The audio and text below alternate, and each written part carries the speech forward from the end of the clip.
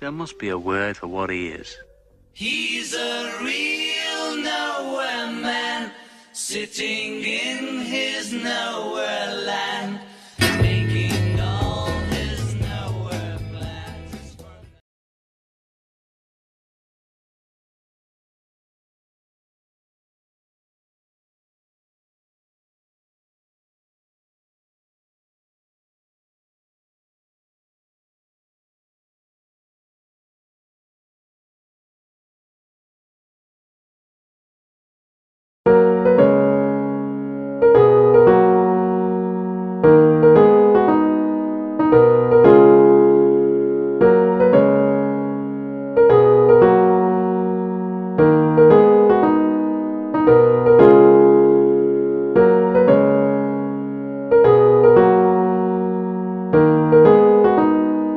you